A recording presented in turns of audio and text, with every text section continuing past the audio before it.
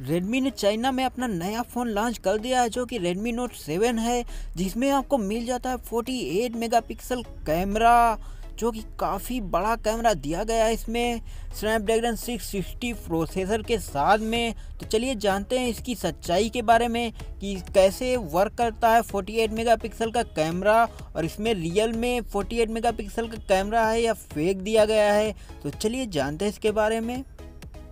तो यहाँ पे अगर फ़ोन की बॉडी की बात करें तो इसमें काफ़ी ज़्यादा चेंजेस किए जा चुके हैं। जैसा कि आप बैग में देख सकते हैं, बैग में इसे मिल चुका है ग्लास का पैटर्न। तो यहाँ पे काफ़ी अच्छा जैसे कि आप रियल मी में देख सकते थे, वैसा ही कुछ लुक हमें अब Redmi Note 7 में देखने को मिल रहा है।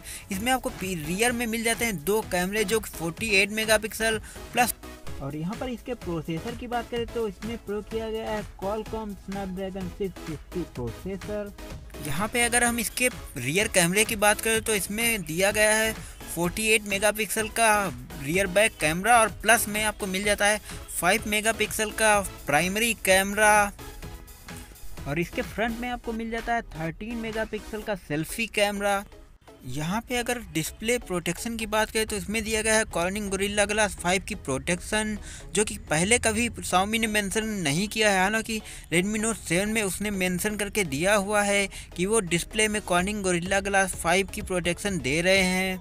पे अगर 48 मेगापिक्सल कैमरे की सच्चाई की बात करें तो हम स्नैपड्रैगन 660 में अप टू 25 मेगापिक्सल का सिंगल कैमरा यूज़ कर सकते हैं। और अगर हम डुअल कैमरा यूज़ कर सकते हैं तो 16 प्लस 16 मेगापिक्सल का कैमरा ही यूज़ कर सकते हैं। तो साओमी ने 48 मेगापिक्सल का कैमरा कैसे यूज़ कर लिया? साओमी ने कैमरे का मेगापिक्सल बढ़ाने के लिए उसने Sony I M G X five eighty six sensor को चेंज करके Samsung G M one sensor को यूज़ किया है, जिसमें आपको मिल जाते हैं 0.8 लार्ज माइक्रोन पिक्सल साइज़ यहाँ पे अगर हम दो मेगापिक्सल के कैमरे से कोई पिक्चर क्लिक करते हैं तो यह सेंसर हमें फोर एक्स गुना बढ़ाकर पिक्सल शो करता है। यानी कि हमें कैमरे की क्वालिटी में कोई भी डिफरेंस देखने को नहीं मिलता है। हालाँकि हमें रेजोल्यूशन में देखने को डिफरेंस मिल जाता है। मीन्स हमें दो मेगापिक्सल के कैमरे में एट मेगापिक्सल की क्वालिटी देखने को मिल जाती है। तो यहाँ पर आप समझ सकते हैं इंटरपोलेटेड कैमरे 48 मेगापिक्सल का सच उन्होंने यूज़ किया 12 मेगापिक्सल का कैमरा और अगर हम इसे फोर 4x गुना बढ़ा दें तो ये हो जाता है 48 मेगापिक्सल। तो अभी आप समझ सकते हैं इसका सच